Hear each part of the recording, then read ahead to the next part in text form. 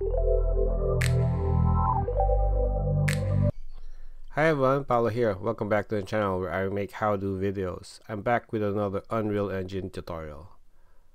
This is part of the character animation how-to series. In this video, we're going to learn how to do animation retargeting with meshes of the same skeleton using bone translation. Let's go. So what is animation retargeting? Animation retargeting is a process of repurposing existing animations for use between multiple characters eliminating the need to create entirely new animations as you could instead share your animation assets between characters. So here I have the official documentation. I'll link it in the description below. There's an example here where why you would use retargeting. So for example, you have this uh, three meshes, this character meshes. Um, there's a base character, there's a short guy and a skinny guy. So before retargeting, if you apply any animation to those meshes, it would distort the mesh.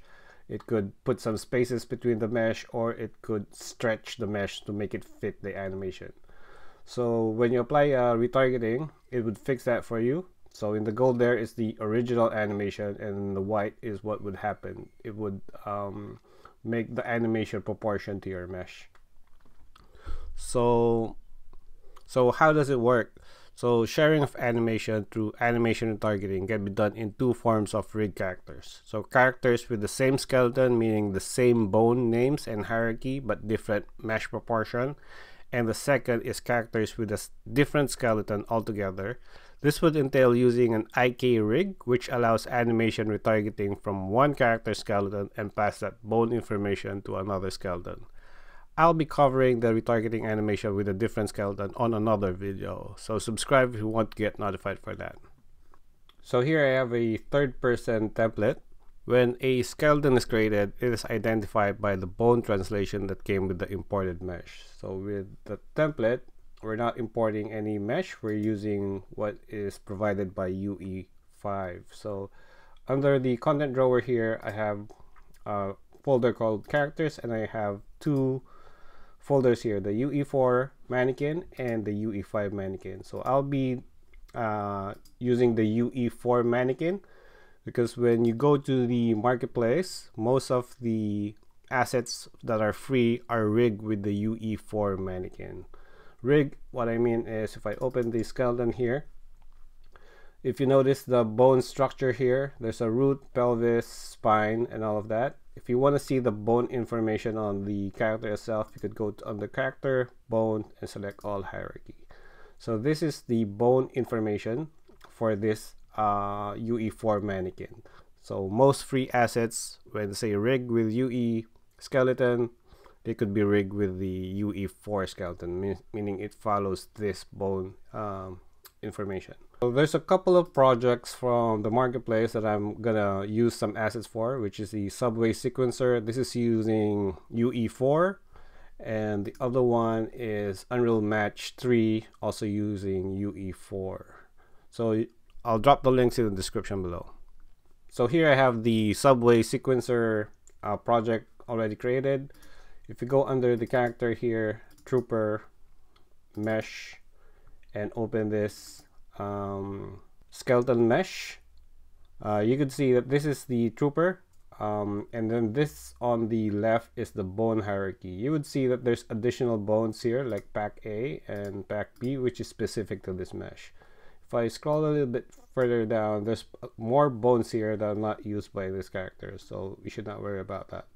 But overall it's following the same um, naming structure for the skeleton. So this could be used as the same skeleton on UE4. So to export this, go under the content browser, look for the skeleton mesh, right click, select asset actions, and then click export. I'm gonna save this on my desktop. Use the default export options. That should be it.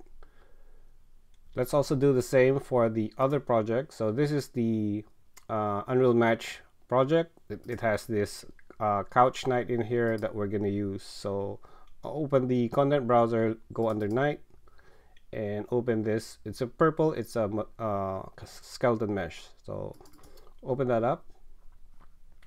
For this one it's a bit interesting because uh, the naming structure is all the same except for one bit. So if I go under thigh here, there's a calf, foot, and thigh twist.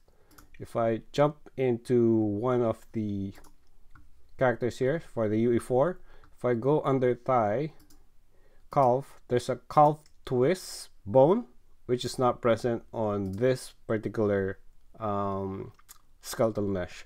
So this is actually not compatible, but we're still gonna use it. So to export this, go back to the content browser, right click the skeleton mesh, select asset actions, and then click on export. And select the default options and export. Cool, so now let's jump back to my third person project. So here, we're gonna start importing those assets. Um, there's only one animation on this uh, UE4 um, skeleton, which is a jog forward. And that is how it looks like. I'm going to pause that. I'm to go to the content drawer here. And I'm to drag the skeleton mesh and drop it on my level here. And I'm to rotate this guy. Cool. And going back to my content drawer, I'm just to create a couple folders and we'll start importing the assets. So we have trooper. We have knight. Let's start with the trooper. So from your exported FBX project, uh, drag and drop them. And for the import options, select the UE4 skeleton. So under there, select SK mannequin skeleton, then import you'll get this warning which is fine so I'm going to clear that out and when I open this you would see that the skeleton information it's using is from the same skeleton that we have I could jump in the skeleton tab here and you would see it's uh, now referenced uh, the same skeleton so this mesh is using the same skeleton let me go and save all Well, what's also interesting is added additional bone information. It, so it merged the additional bone that it has on the original skeleton. And it still works. So if I now go to my level here and apply this trooper, the skeletal mesh, and rotate it 90. Um, let's apply some animation now. So if I select this under the animation mode here, set that to animation asset, and then you could select any animation because there's only one. It's gonna do just select the jog forward. Do the same for the trooper, animation asset, and then jog forward. Um, so if I you would notice something with this trooper that the foot is actually inside the ground instead of um, on the ground uh, if I hit play here you would see they're doing the animation but there's some tweaks that we need to do for this uh, trooper guy because his mesh is a bit taller than the original base model uh, we'll do that later let's do another import so if I go to the character folder here then go on the knight and select the couch knight. so this is interesting now. So if I drag and drop this and I select the skeleton and I hit import, I'm going to get this failed me uh, message. There's a warning, failed to merge bone. That's because the bone is not compatible with the mesh. Um, if I hit yes, it would destructively destroy the skeleton. So hit no for this one. It would still import it. Close that and save all so when you hit save all it's gonna complain that the skeletal mesh asset has an incompatible skeleton so just for this demo I'm showing that uh, this would happen if the bone structure is not correct but it could still be used so if I open this um, you would see it's still referencing the same skeleton that we have. Still work but then there's no um, calf information. This calf twist bone. This mesh doesn't have that information and it's throwing that error. Cool. So let's jump into the level here and I'll add that skeletal mesh. And I'll do the 90 degrees here. And up, do the same. Apply the animation asset and the anim to play. You would see for this character now it's popping up. If I play this quickly so this the trooper is a bit taller the short guy is up in the air. So this is where the bone translation retargeting comes in place. To fix this animation you would use the bone translation retargeting. So go under the uh, skeleton here and under the gear icon here select uh, show retargeting options. So when you do that you'll have this options shown to you. When you hover on the root bone here on one of the animation if you click command option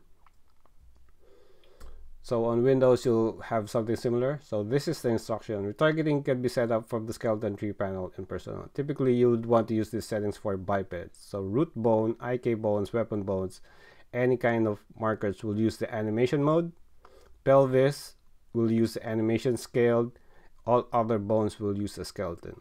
So this is how you would set it up. So first, go under the root bone, select the top bone here or similar, right click and set uh, that to translation uh, skeleton, translation targeting skeleton recursively. So everything now would be using the skeleton information. And then next is go to the pelvis or similar and this time use the animation scaled for this one. And that should fix that one. And any other bones like this um, additional bones here IK foot bone you could set that to animation. I'm gonna save that. Now if I jump to my level here I quickly play this you would see that they are now positioned properly. The trooper is now on the right level and this couch knight is now on the ground running properly. Cool. So now animations are shared across the meshes using the same skeleton. Hope you learned something from this video. Check out the full animation how-to series. Don't forget to leave a like, comment, and subscribe. Cheers. Bye for now.